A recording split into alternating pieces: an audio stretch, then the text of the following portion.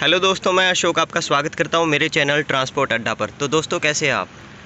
दोस्तों, आज मैं आपको बताने जा रहा हूँ कि जब भी आप पेट्रोल पंप पर जाते हैं, सीएनजी पंप पर जाते हैं, काफ़ी लंबी लाइन लगी होती है। जैसे कि यहाँ पे भी काफ़ी ज़्यादा लाइन लगी हुई है, पीछे तक गाड़ियाँ लगी हुई है।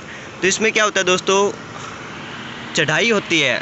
ज़मीन पे और गाड़ी जो है चढ़ाई पर खड़ी होती है, उस समय क्या होता है कि जब हम गाड़ी चलाते हैं, आगे करते हैं या फिर स्टार्ट करते हैं उन दैट टाइम गाड़ी बैक हो जाती है, पीछे की ओर खिसकती है।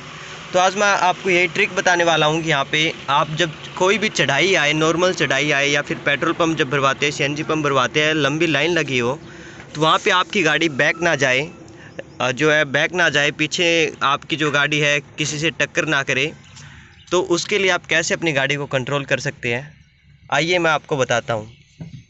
देखिए दोस्तों, ये मेरा दोस्त है और ये जो गाड़ी ड्राइव कर रहा है, ये आपको बताएगा कि गाड़ी आपको कैसे जो है सेफली ड्राइव करनी है, जैसे इससे पीछे नहीं लगेगी। दोस्तों, ये यहाँ पे जो है हैंड ब्रेक है। हैंड ब्रेक लगा हुआ है यहाँ पे। सबसे पहले आपको जो है हैंड ब्रेक लगाना ज़रूरी होता है। कोई भी चढ़ाई हो, वहाँ पे आप हैंड ब्रेक ज़रूर जो है लगाइए। और जैसे ही आपकी गाड़ी आपको मूव करनी होती है तो गाड़ी आप जैसे स्टार्ट करते हैं दोस्तों हैंड ब्रेक को आपको धीरे धीरे छोड़ना है।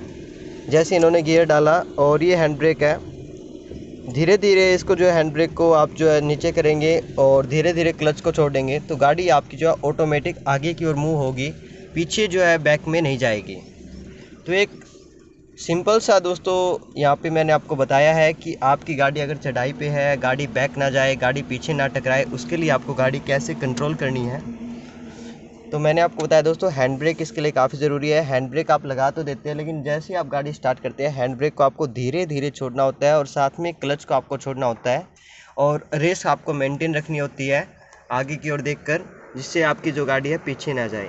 तो दोस्तों, ये जो इन्फॉर्मेशन आपको कैसी लगी, वो आप मुझे कमेंट करके ज़रूर बताएँ। साथ ही दोस्तों, कुछ और अगर आपको डाउट है, वो भी आप मुझे कमेंट कर सकते हैं। मेरे चैनल ट्रांसपोर्ट अड्डा को आप सब्सक्राइब कर लें। साथ ही इस वीडियो को लाइक व शेयर करना ना भूलें। Thank you for watching and supporting Transport Adda